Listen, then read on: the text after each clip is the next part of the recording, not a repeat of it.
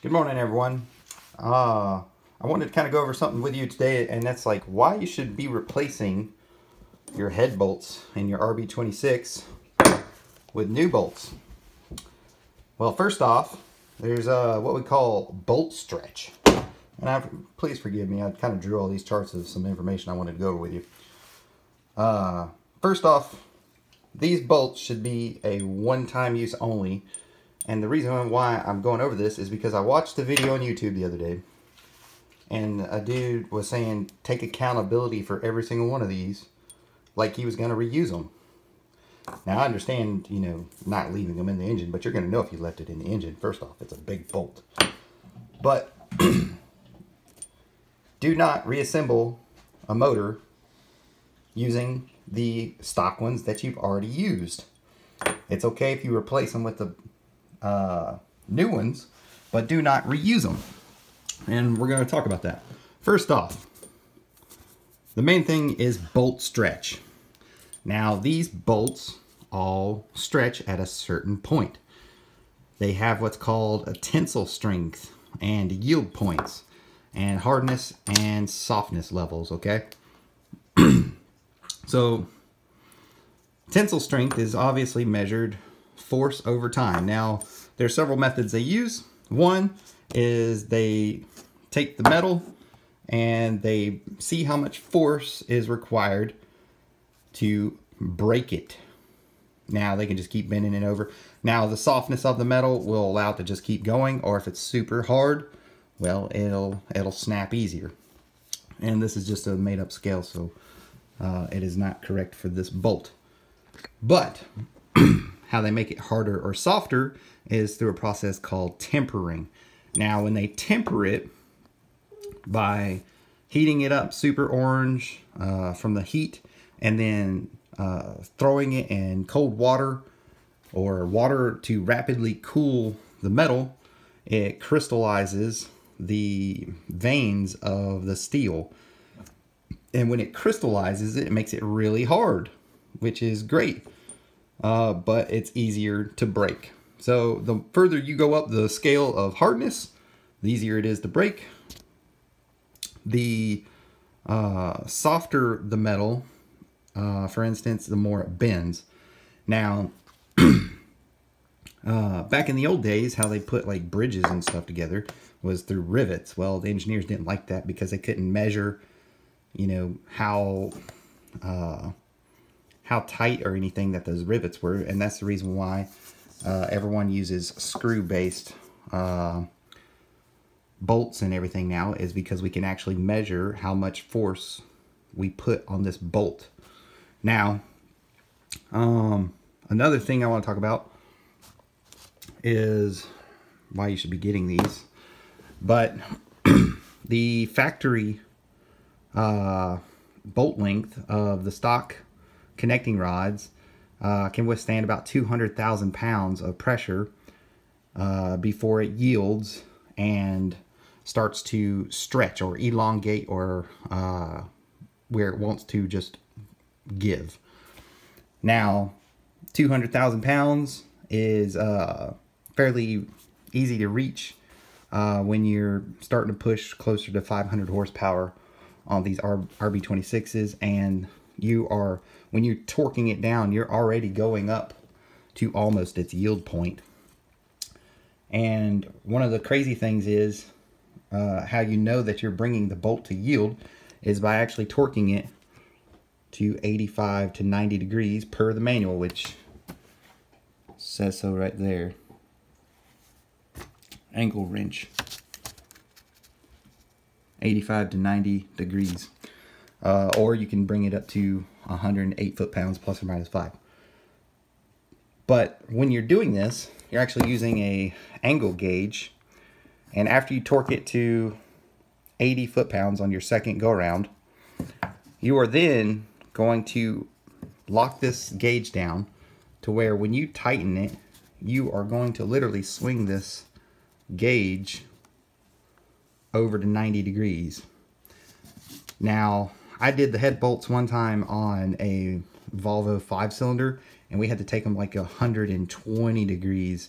And when we were doing this, uh, after we tor torqued it down to like 80 foot-pounds of torque or something, it was like, uh, you could hear the metal tinging, like ding, ding, ding, ding, ding, ding, ding, ding, ding, uh, as we were going around. And it literally scared me because I was like, oh God, we are going to snap these bolts off in the cylinder head. But don't do that. Uh, since this is a problem with the factory RB26, I mean, if you're going to stay below 500 horsepower, by all means, get the factory bolts. If you're replacing the head gasket or anything, you will be fine for under 500 horsepower. Uh, Andrew Hawkins talks all about it on how, you know, how much horsepower it took before he started stretching the head bolts and lifting the cylinder head off of his motor. Now the ARP 2000s, they are obviously better. They have a higher uh, torque to yield point or uh, tensile strength, which can take up to 220,000 pounds. Now, some of you guys are saying that's not a lot, but 20,000 pounds is actually a good little bit. It's actually a really good upgrade. These are actually, I, I looked up the price today on ARP. Uh, they're selling for about 350 bucks uh, for the whole kit. But anyways, you can also see that they also torque down uh, three equal steps up to 100 foot pound, 105 foot pounds, and that'll help hold that head down uh, with a higher yield, and you won't lift the head as easily.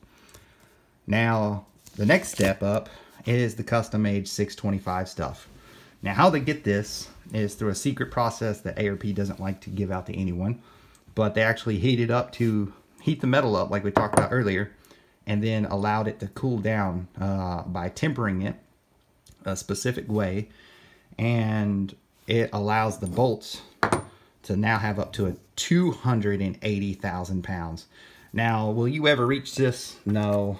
Like, uh, you might actually get the, you know, tensile strength up here, but uh, uh, everyone with big horsepower RBs is going to this custom Age 625 stuff. Obviously, the price reflects that. Uh, 350 versus 700. These are great if you're just wanting to make a five, 600 horsepower build. They will hold it. If you want to make 1,000 horsepower and up, you're going to need the custom Age 625 stuff. The only problem is these bolts are so strong that when you torque them to 140 foot-pounds, you're reaching the, the limits of the threads in the block. And this bolt will rip the threads out of the block if you try to torque it down any higher than that. And that's the reason why they say you need the torque plate for boring and everything because you'll actually lift up the deck of uh, the RB26 block and make the bores out of round because you're you're talking about metal stretchness again stretching metal. Uh, cast iron also stretches and you know has its limitations. But the torque spec to these is 140 foot-pounds now uh, one of the really cool features about the custom Age 625 stuff is since you are not bringing the bolt to its yield that you're constantly torquing it to like here right around in this area probably uh, these bolts can constantly be reused. You can tear the motor down put it back together tear it down put it back together tear it down put it back together tear it down put it back together. Uh, because you were not stretching those bolts. Now there's actually uh, specifications on all bolts and you can actually get a stretch gauge and hook it up to this and measure how much it is stretched and see if this bolt is actually good or bad.